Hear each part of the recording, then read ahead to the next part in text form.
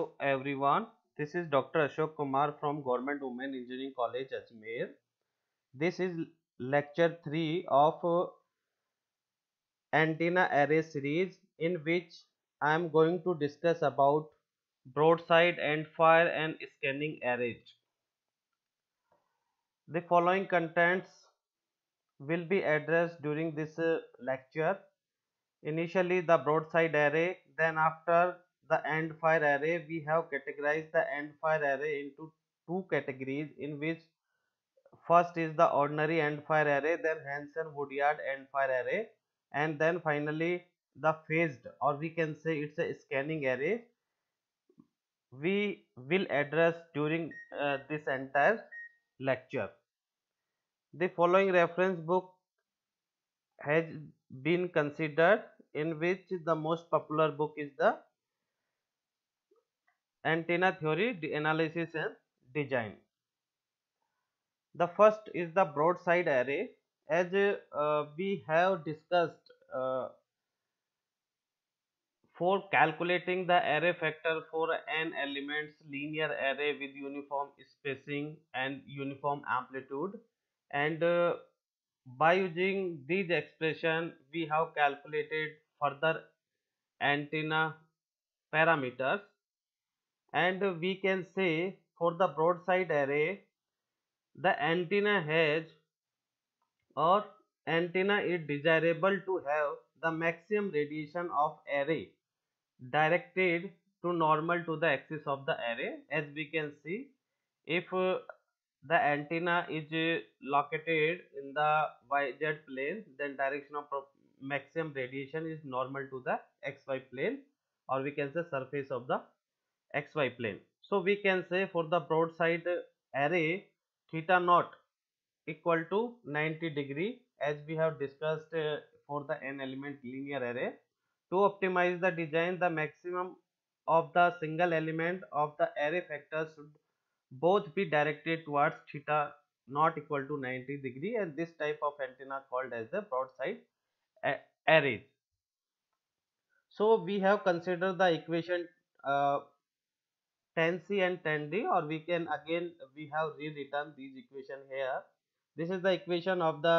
uh, normalized array factor equal to this expression and this equation for the normalized array factor and uh, we again we have written this equation so as uh, we have discussed that the maxima of the array in the case of n element linear array with uniform spacing and uniform amplitude. In that case the first maxima of the array factor occurs when the progressive phase shift psi equal to kd cos theta plus beta and this is equal to 0 in that case we can calculate uh, the value of uh, beta. And uh, we are putting the we are solving this equation for the first maxima directed toward theta naught is equal to 90 degree. So psi is equal to kd cos theta plus beta theta is equal to 90 degree. So we will get the beta is equal to 0 so we can say in the broadside array the angle should be 90 degree and beta should be equal to 0 in the case of broadside array. To ensure that there are no principal maxima in other direction, I mean grating lobes as we have discussed in lecture 2, the separation between the elements should be equal to multiple of the wavelength and uh, should not be equal to, I mean d is not equal to n lambda where n is equal to 1, 2, 3 when beta is equal to 0. This is the basic. If d is equal to n lambda or where n is equal to 1, 2, 3 and so on and beta is equal to 0 in that case psi we have to calculate we are putting d is equal to n lambda beta is equal to 0 and n is equal to 1 2 3 in that case you can uh, get 2 pi n cos theta theta is equal to 0 and uh, comma 180 degree equal to plus minus 2 n pi. If this situation is exist in that case the array factor gets its maximum value but for the uniform array with beta is equal to 0 and d is equal to n lambda the antenna has the broadside maximum as well as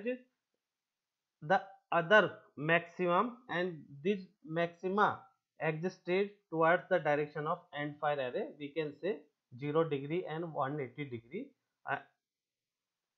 of the array and we can say this type of array is the end fire radiation so we can say if the condition occurs d is equal to n lambda and the spacing m lambda less than equal to d less than m plus 1 ka whole lambda. Here m represent the maxima and which is equal to 0 1 2 and so so the array factor should have twice of m plus 1 maxima. So we are taking uh, here the lowest value. In that case we can calculate the how many maxima in uh, exist. So we can calculate by using this twice of m plus 1 expression. If we have to uh, eliminate the grating lobes the largest spacing between the elements should be less than equal to the i mean deal maximum less than lambda. This is the necessary condition to eliminate the grating lobes i mean uh, other than the first maxima. It's called the grating lobes so we are taking one example and in this example we are taking the n equal to 10 number of linear elements. And uh,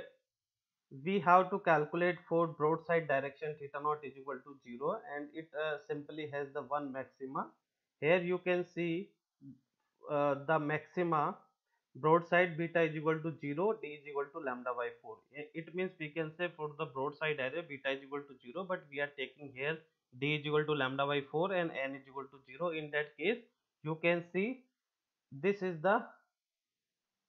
one maxima occurs and this maxima is at 90 degree. You can say uh, in a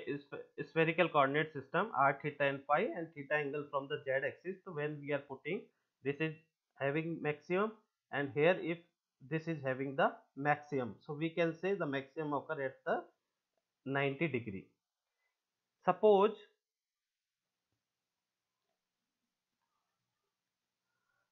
suppose beta is equal to 0 and d is equal to lambda. I mean we have increased the uh, element spacing between uh, antenna elements and which is equal to d lambda. In that case we are getting one maxima at theta is equal to 90 degree and two another maxima at theta is equal to 0 degree and theta is equal to 180 degree. Here you can see so here three maxima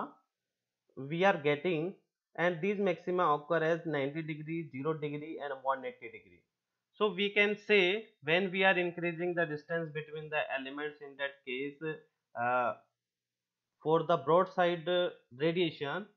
eh, as well as uh, the end fire radiation is also exist when we are increasing the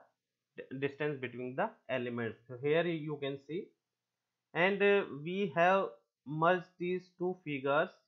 And uh, in the form of 2d radiation pattern here you can see the 2d amplitude pattern for the broadside array where n equal to number of elements we are taking here 10 and beta is equal to 0 in that case this array factor bar represent d is equal to lambda by 4 and this array factor uh, pattern represent d is equal to lambda and you can uh, draw both pattern in a single 2d radiation pattern. And here you can see when d is equal to lambda by 4 in that case you are getting the maxima at 90 degree. Here you can see maxima at the 90 degree. But when we are taking d is equal to lambda you can see the maxima at theta 90 as well as 0 degree and 180 degree. You can see and this is uh, represented by the rainbow where the red color represent the maximum and uh, blue color represent the minimum. So here you can see for the the spacing between element d is equal to lambda by 4 and d is equal to lambda. And uh, these are the some important parameter that we have to calculate it the null maxima half power points minor lobe maxima and beam width for the uniform amplitude broadside array and uh, this can be calculated as we have discussed uh, for the n element linear array. There we have calculated the null maxima half power points and minor lobe and these and uh, first null beam width half power beam width first side lobe level fsl bw so these parameters we can calculate. And uh, you should keep in uh, mind that uh, these parameters are very important uh, to draw the radiation characteristics of the broadside array when we are putting the values of uh, n capital of n lambda and spacing between the elements. Then after you will get important. And then another how many nulls will be exist in the broadside array? So twice of n dash plus 1 is if d is equal to n lambda n is equal to 2 we, we are taking then the there are four nulls will be exist second is the ordinary end fire array. Instead of having the maximum radiation i mean broadside normal to the axis of array it may be desirable to direct it along the axis of the array. As we can say in the direction of axis the radiation pattern has its maximum. So it it may be necessary that it radiate toward only one direction either theta is equal to 0 degree or 180 degree. As we have uh, given the analysis uh, uh, in figure 3a to direct the first first maximum towards theta not equal to 0 degree then we can calculate the value of beta equal to minus of kd and uh, when the first maxima is desired towards theta not equal to 180 degree then we have calculated the beta value equal to plus kd so here you can see when theta equal to 0 degree then we are getting minus kd and when theta equal to 180 then uh, we are calculating beta is equal to kd so these are the some important uh, uh, conditions uh, to define the ordinary end fire arrays. So the end fire array is attained when beta is equal to minus kd and This we have discussed. If the element separation is d is equal to lambda by 2 end fire radiation exists simultaneously in both direction at theta naught equal to 0 degree and theta naught equal to 180 degree. If the element spacing is a multiple of the wavelength is equal to lambda n equal to 1 to 3 then then in the end fire radiation in both direction there exists a maxima in broadside direction also as we have discussed in the previous uh, analysis. Here you can see here the broadside here you can see the broadside as well as uh, end fire radiation exist. Therefore, when d is equal to n lambda n is equal to 1 2 3 for the spacing between m lambda by 2 uh, to m plus 1 lambda by 2 so we are taking always a low lower value. Then we are taking the different values of m. The pattern has m plus 1 maxima in the case of end fire array. For example if d is equal to lambda n is equal to 1 and m is equal to 2 then it has three maxima as we have discussed to avoid the grating lobes, the maximum spacing d maximum less than lambda by 2 is necessary in the case of end fire radiation as well. The three dimension, so we are taking one uh, example to understand the radiation characteristics of the end fire array where we are taking n is equal to 10 and d is equal to lambda by 4 and beta is equal to plus kd and we have plotted here this is the theta naught is equal to 0 degree and we have plotted at uh, we are getting the maximum radiation along the z direction and uh, from at theta is equal to 0 and theta is from the z axis. And here when theta naught is equal to 180 degree in that case the radiation is just opposite to the theta naught equal to 0 degree. As we can say uh, theta uh, at 180 degree. Here you can see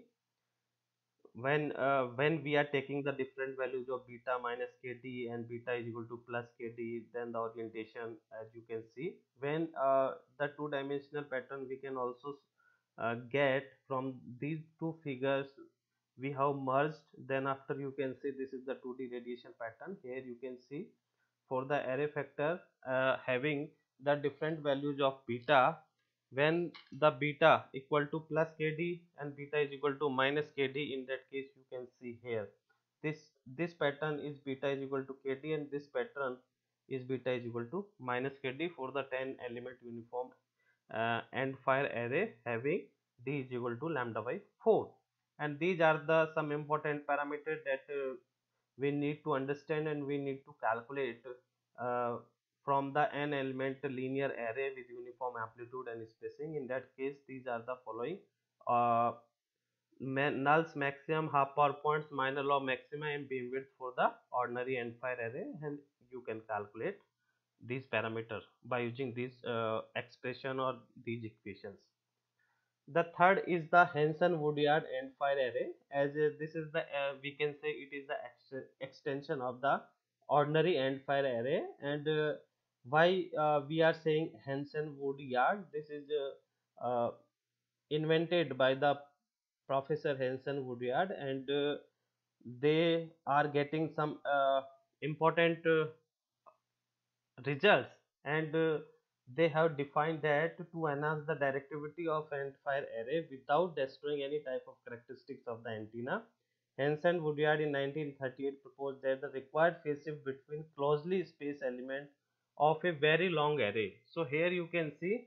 uh, we are taking very long array then uh, we can define the Hansen Woodyard array and these long array are closely spaced. I mean the spacing between element is uh, minimum and uh, we can say the value of uh, beta I mean phase shift equal to minus kd plus pi by n for theta naught equal to 0 degree and plus kd plus pi by n for the maximum in theta naught is equal to 180 degree. So this is the first assumption uh, we are taking uh, or uh, we in the case of Hansen Woodyard endfire array to realize the increased directivity as well result of the Hansen Woodyard condition, it is necessary that in addition to the condition of this and this, phi assume values of uh, theta not equal to 0 degree and theta not equal to 1 degree 180 degree. In that case, by considering the equation 21a for the theta not equal to 0 degree and considering the 21b for theta not equal to 180 degree, in that case, uh, we are getting the mode, mode of psi equal to pi by n.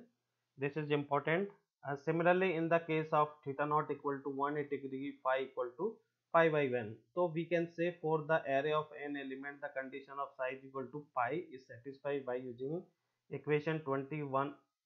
a and 21 b for theta equal to 0 degree and theta is equal to 1 d 180 degree respectively. And choosing the each spacing of d is equal to n minus 1 upon n ka whole lambda by 4 so this is the actual spacing between the elements in the case of Hansen Woodyard end fire array. If the number of elements is large as we have discussed that the Hansen Woodyard is applicable for the long uh, number of antenna elements and having the closely spaced distance. Then we can represent d equal to uh, nearly equal to lambda by 4 so long uniform Hansen Woodyard condition can only proved uh, for the directivity provide the spacing between element equal to lambda by 4 so you can again see the 3d radiation pattern of the ordinary and Hansen Woodyard end fires for n is equal to 10 and d is equal to lambda by 4 and place uh, next to each other as we have discussed.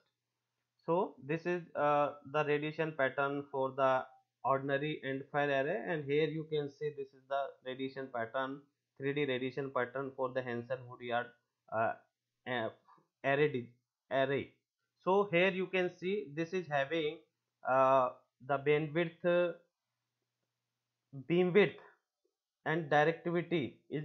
uh, less but here you can see the beam width is reduced but the directivity is increased. Here you can see. You can again uh, see the 2d patterns. For the n equal to 10 beta is equal to minus kd plus pi by m and this condition is applicable for theta is equal to 0 degree. And in that case we can see d is equal to lambda by 4 and d is equal to lambda by 2 here you can see d is equal to lambda by 4 is represented by using uh, this uh, configuration and this having the maximum value of uh, directivity and uh, having the minor back lobes but when we are taking the distance between element d is equal to lambda by 2 in that case having the maximum theta naught degree and uh, as well as in 180 degree but the value of uh, backward radiation is higher than the value of forward radiation or we can say at theta is equal to 0 degree. So we can say for the Hansen Woodyard array we are taking d is equal to lambda by 4 in that case we are getting the maximum directivity and minimum half power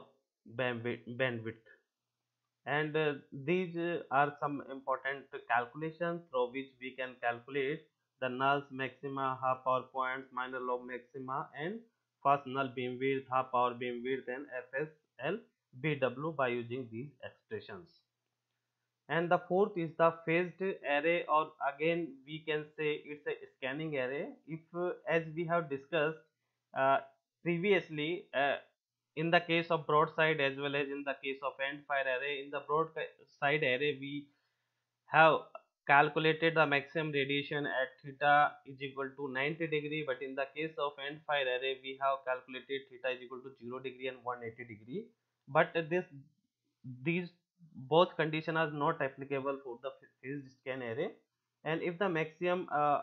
can be oriented in any direction to form a scanning array. Let us assume that the maximum direction radiation of the array is required to be oriented oriented at angle theta naught. And uh, this value lies between 0 degree to 180 180 degree. If uh, the end fire and broadside condition is not satisfied in that case the phased scanning array is applicable.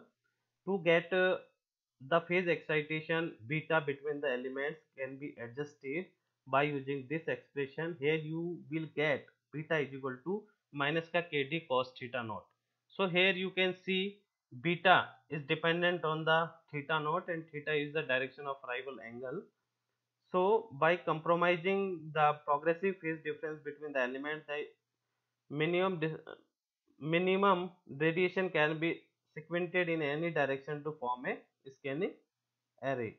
sorry this this is not minimum maximum radiation so this is accomplished electronically by the use of ferrites or diode phase, phase shifter. The more detailed analysis about the ferrite and diode phase shifter you can see from this book. And this is the three dimensional and this is the two dimensional array factor pattern of the 10 element uniform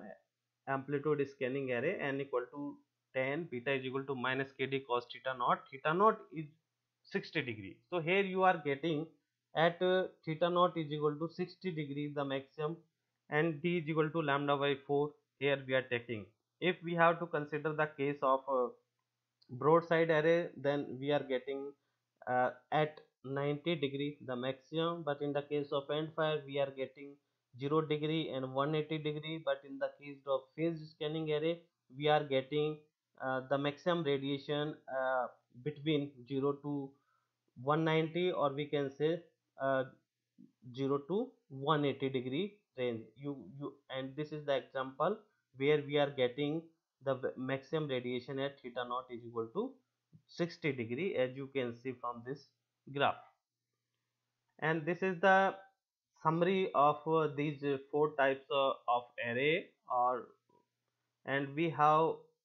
this summary uh, in between the spacing between the maximum spacing between the elements to maintain either one or two amplitude maxima of the linear array. For the array linear distribution uniform type broadside in that case theta naught is equal to 90 degree only when d maximum less than lambda. If d equal to lambda in that case theta naught equal to 0 degree 90 and 180 degrees simultaneously as we have discussed Second category linear distribution ordinary end fire array theta naught equal to 1 0 degree only d maximum less than lambda by 2 theta naught equal to 180 degree only then d maximum less than lambda by 2 but when theta not equal to 0 90 and 180 degree simultaneously in that case uh, it is the d, d is equal to lambda as we have discussed